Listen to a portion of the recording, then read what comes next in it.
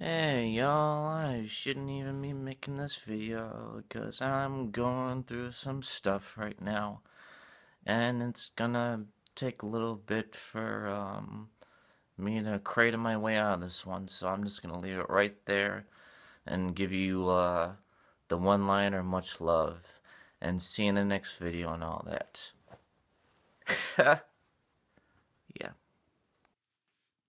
Shout out to the smoke shop at Wilshire and Gramercy.